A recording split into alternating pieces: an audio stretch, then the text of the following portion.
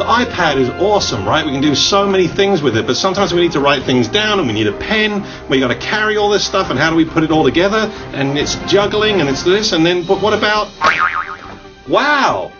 What if we really had it all together so that the iPad and paper with a pen were like best friends forever? Let me show you.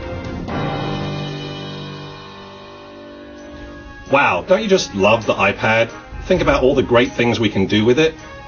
But on the other hand, we also need a case to carry it around in, protect it, keep it safe, right? So my company has uh, created a pretty unique iPad case that I want to share today. This case comes in a number of different designs, and it has a pretty unique feature that really at the moment no other iPad cases on the market have.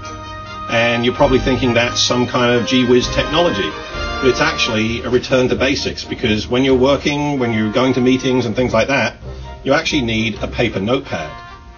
Pretty crazy, right? But we're just much better at making notes on paper than we are with the iPad. So our case is set up so it has a matching paper notepad on one side and it has the platform to slide the iPad on the other side. Snaps in nice and secure under the elastic, just like that. Now, depending on whether you're left or right-handed, you might want to switch switch things up. And You might want the notepad to be on the other side, so you can actually just make it completely interchangeable and put the iPad on the other side. But what about um, the other kinds of things I like my iPad case to do, other than protect my iPad? And so things like being able to stand the iPad case up so you could watch a video, uh, make a presentation, uh, really stands up nice and secure like that oh, you've got to do some work. So you're going to flip the case over, and this makes a super typing surface. So it's a nice angle to use, and you can type away or browse the internet, whatever you need to do on the iPad there. Um, you might, for example, want to collapse the case down to a more flat profile and use it just on a desk or in your hands like this. Or on a desk, you might want to flip it over and then just be able to use the notepad. Because the iPad stylus pen is actually this rubber tip which mimics the human finger and works really beautifully on the screen. And as I've said, the other end has this old-fashioned black ink technology in it that works really great on that old-fashioned technology we all know and we all use, paper. So that's our iPad case.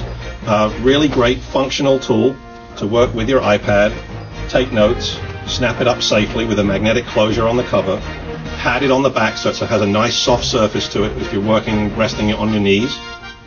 So pretty cool, right? So you have an iPad case that's decorative, it's functional, it's practical, and it comes with things that you need like paper, a stylus, and a regular pen. So we like to think of the iPad and paper with the Papier de Maison cases best friends forever, right? Oh, but wait, what about if you have a black and white reader? So we actually have uh, the Kindle size version, which opens up and has all the same features as its bigger brother, but is good for the black and white style Kindle reader. Thank you.